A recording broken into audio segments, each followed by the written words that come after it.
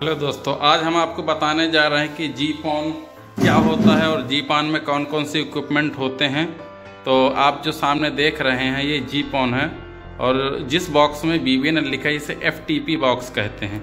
हमारा जो भी फाइबर होता है, जो आप देख रहे होंगे, ये काले कलर का केबल ये केबल हमारी ओ से आती है और ये FTP बॉक्स में लगती है। FTP बॉक्स से फाइबर का पैच कार्ड हमारे ओएलटी में लगता है। तो मैं आपको इसको ओपन करके दिखा रहा हूँ। ये हमारा एफटीपी बॉक्स है।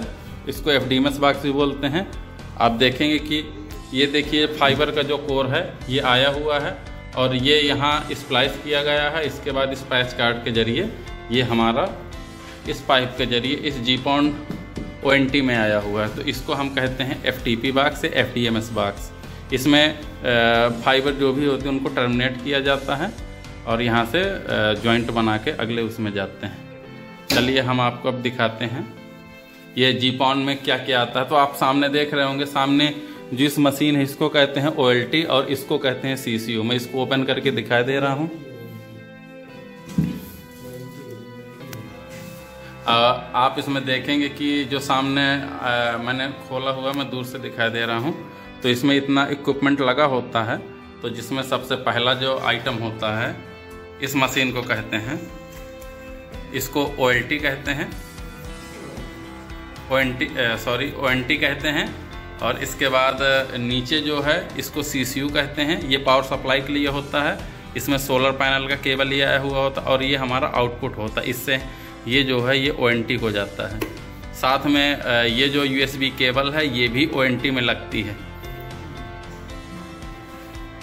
यहाँ पर देखिए, अगर हम सी की बात करें तो सी में ये सोलर चार्जिंग जब सोलर प्लेट लगी हुई होती है चार्जिंग होती है तो सोलर चार्जिंग की लाइट जलती रहती है।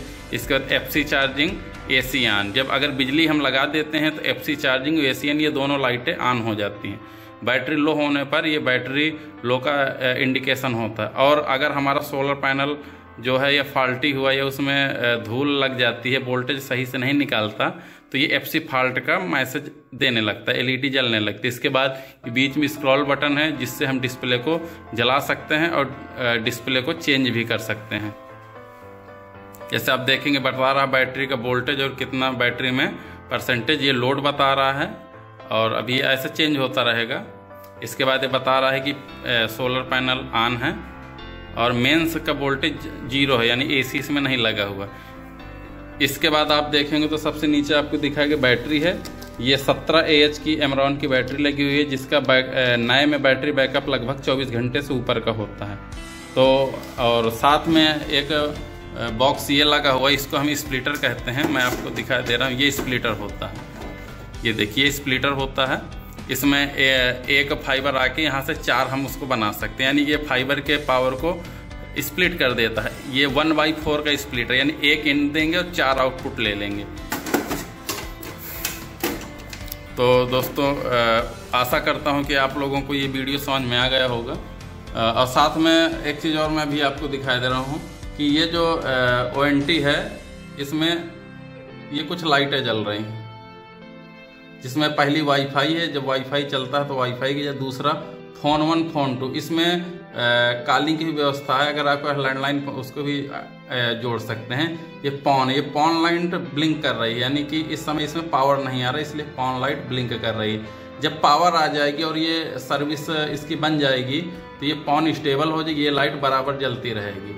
इन केस फाइबर कटता है, तब ये अलार्म वाली लाइट जलती है, और जो पावर यानी जब हमारी मशीन ऑन होती है तो ये पावर की लाइट जलती है। तो दोस्तों आशा करता हूँ कि आपको वीडियो पूरा समझ में आ गया होगा और जी पॉन के बारे में ये पूरा जानकारी थी। हम अगले वीडियो जल्द ही बनाएँगे जिसमें आपको इससे आगे की जानकारी देंगे। धन्यवाद।